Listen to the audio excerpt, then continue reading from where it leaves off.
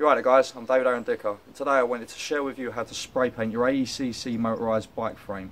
So in the previous video I showed you how to take all the paint off. Now in this video I'm going to be showing you in a step-by-step -step process on how to spray this frame. So I've got the colour all set out and all the rest of the tools. So I hope you stay tuned and enjoy the rest of the video. And remember to share, comment and like and also remember to hit that subscribe button. Cheers.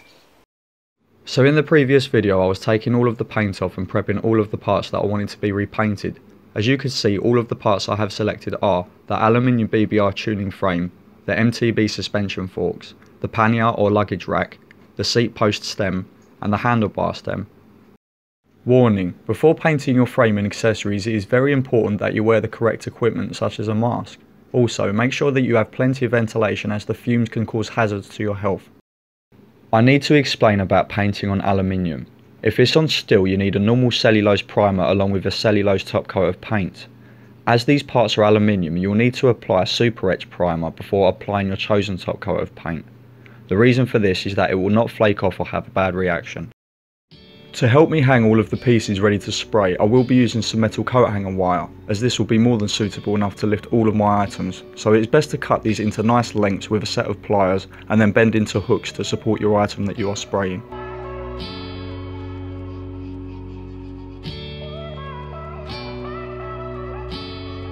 Okay, before applying the first coat of primer, it is a great idea to use some cellulose thinners to ensure that you clean any grease and dirt or contaminants on the item that you are painting.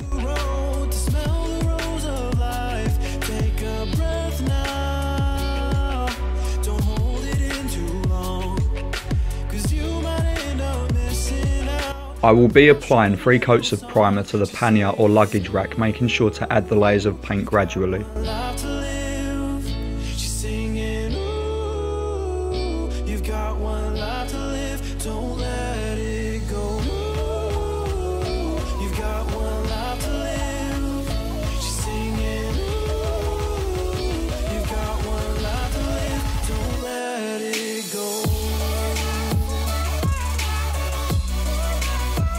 Moving on to the seat post now, I will be giving the same three coats of primer and leaving a good 10 to 15 minutes before applying each coat.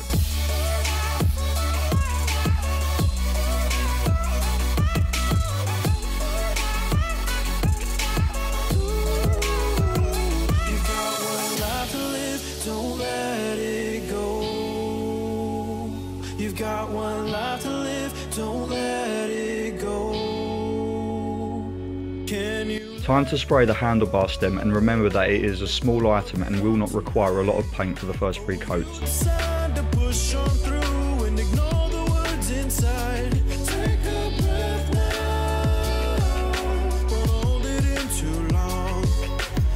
When spraying an item like the forks, please make sure that you cover any areas with newspaper and masking tape to prevent any overspray or paint going into places that you don't want it to.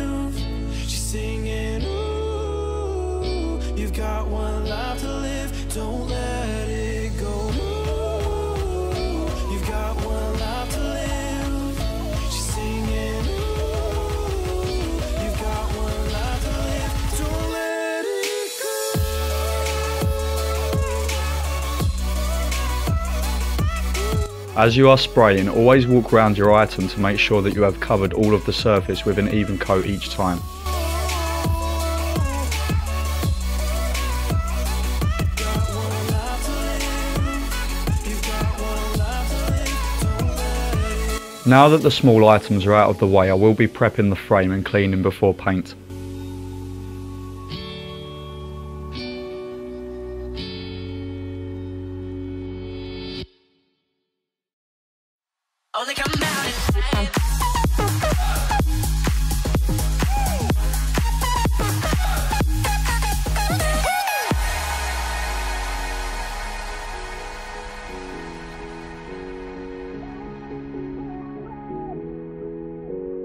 Now for the frame. I will be building up a nice amount of paint for the first three coats of primer as this bonds nicely to the aluminium because I've gone back to bare metal with this item.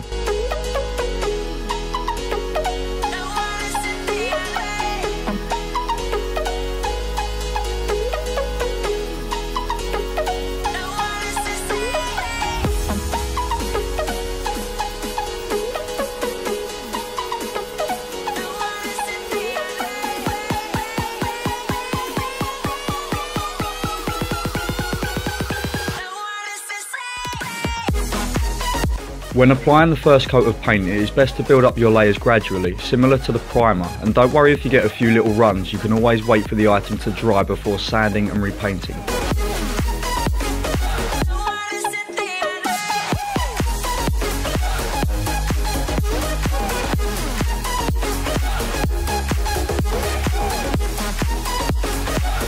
It is best to follow the shape of the item that you are spraying in a nice even stroke with the spray can to ensure full coverage.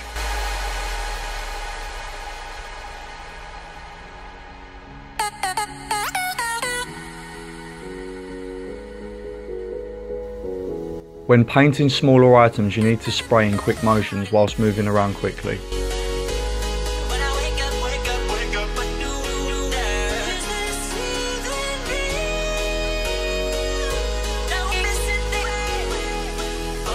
With larger items you need to make sure that you have a good fair amount of paint as these will be affected by wear from the roads.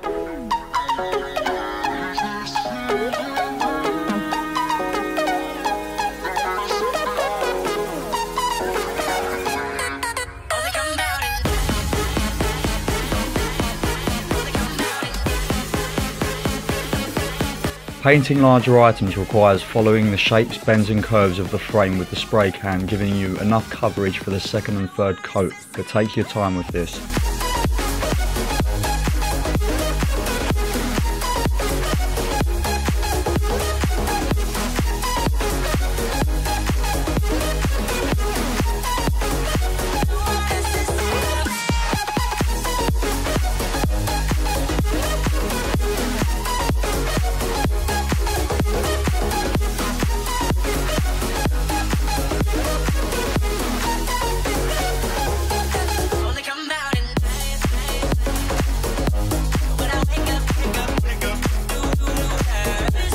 On the last coats I will be giving a full amount of paint to each item giving the 100% of full coverage as the first coat will give you around 30% and the second coat will give you around 70%.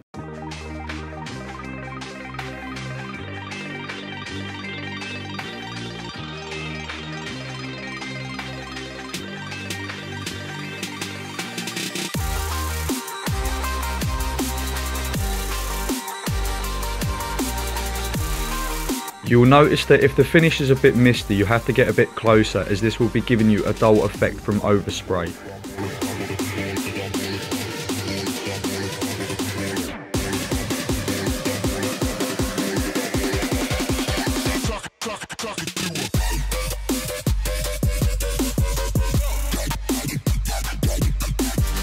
I'm not too bothered about covering these nuts and bolts with paint as I will be replacing them with brand new stainless steel when the paint has dried.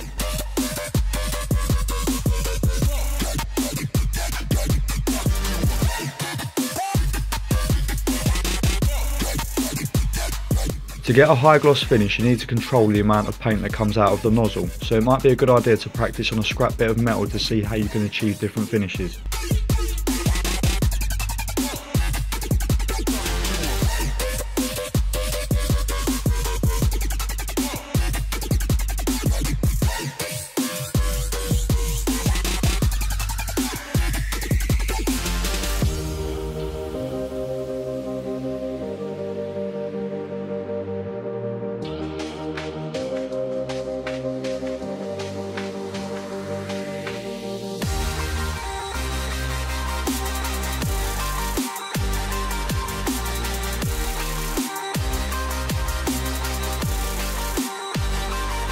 Alright now guys, so that was a little video on how to spray paint your 80cc motorised bike frame. But don't worry, I'm going to bring out a few more soon. But what I'm going to do is wait for all of these parts to dry now. And I'm going to put them all together and I'm going to reassemble them with all the brand new shiny bits. And I can't wait. But don't forget to hit that subscribe button. And also remember to share, comment and like. Thanks for watching guys. Cheers.